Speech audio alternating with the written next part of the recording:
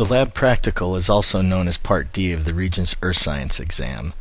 It has three stations, and you'll have nine minutes to complete each station. The first one is Rock and Mineral ID. The second station is Finding Epicenters. And the third is Elliptical Orbits. It's a good idea to review the rock and mineral characteristics. Igneous rock characteristics are intergrown crystals that you see very visible.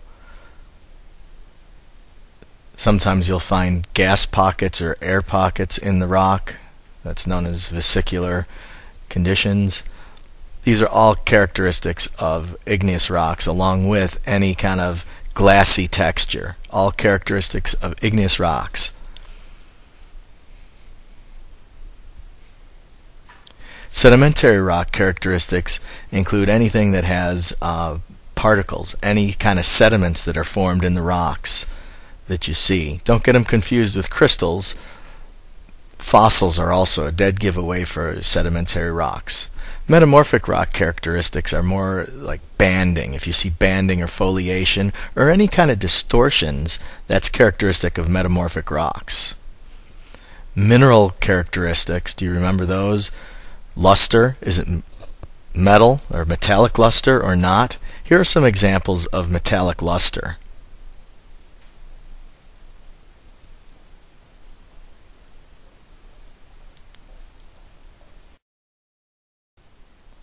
Cleavage is how a mineral splits apart. If you see a mineral with a shiny flat side, that's cleavage. Sometimes you'll see the cleavage in uh, parallel layers.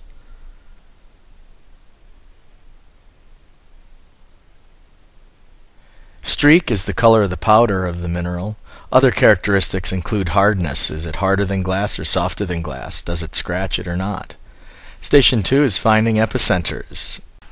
Seismometers detect vibrations within the Earth.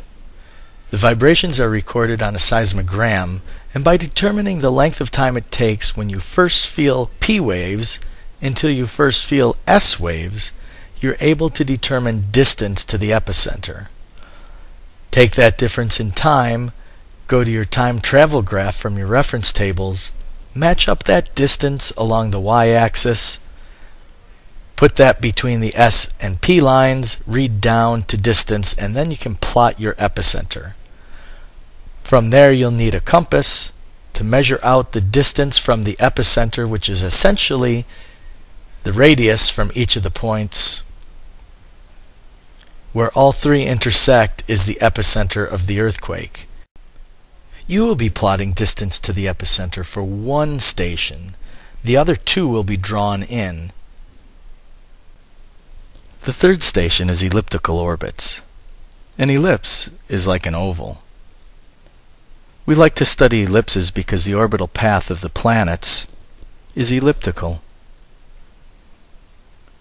A circle has one center point, an ellipse has two points, two foci. The Sun is found at one of the focal points. That's Kepler's first law.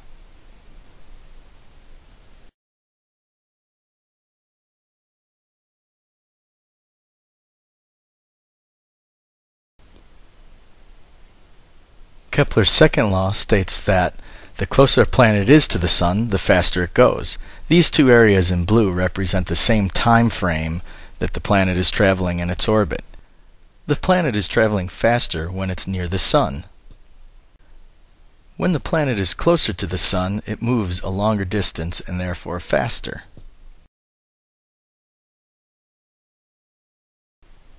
Kepler's third law states that the closer a planet is to the Sun, the faster it orbits around the Sun, so the inner planets go faster than the outer planets.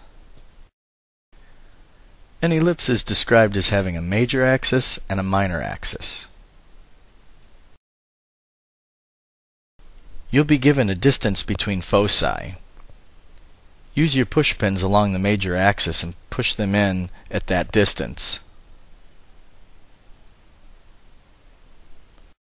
Place the string around the two foci and draw your ellipse.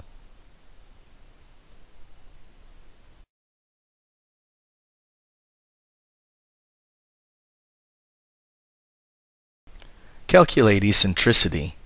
Eccentricity is unitless, and it ranges from 0 to 1. The closer it is to 0, the closer it is to a perfect circle. As eccentricity approaches 1, it becomes more and more oval or elliptical or a straight line. Here are a few thoughts. Remember when you're taking your exam to read the directions carefully and follow them. Round properly. And good luck!